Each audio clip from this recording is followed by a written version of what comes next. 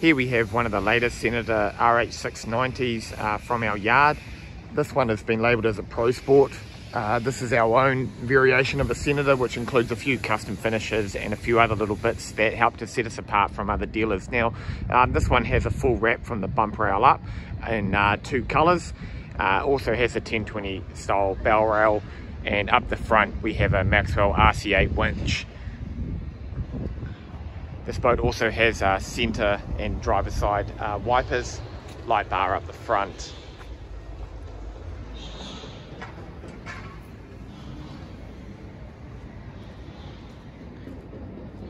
Now this boat is powered by Mercury's uh, 225 horsepower Pro XS 4-stroke.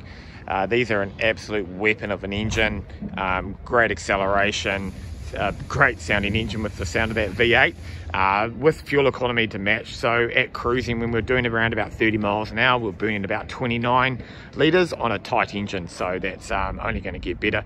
Uh, down the back, we have uh, trim tabs, um, our pump for our live bait tank, and we have a TM275 transducer on it. Uh, this boat's also been optioned with uh, the uh, U-Dek flooring, which is a great little extra as we hop into the boat. Uh, the Senators are known for a really good live bait tank, so there's a good sized live bait tank with um, obviously clear window option. The Typhoon style bait board. Um, in here we have our battery and all of our switching. Uh, it's all labelled and, and everything's easy to know. Uh, washdown pump in the back there. Uh, we fitted this boat up with uh, the latest Furuno gear, so it has a Furuno uh, TZT3 12 inch and also autopilot with uh, NXT radar as well. So she's um, she's all ready to go out there.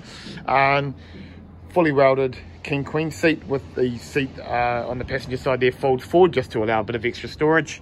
And then we have a nice uh, soft rider here for the driver's side. Uh, this has also got a Fusion stereo, uh, GME VHF. Uh, you'll see no mic there. We do a remote mic clip um, and have the mic on the dash there, so it's super easy. Up the front, we've got a bunk with the toilet up there, just a standard macerator toilet and a lockable door as well. So when you're going away at night time, uh, you can close it up to sleep, uh, or you can also lock all your gear away in there as well, which is really good.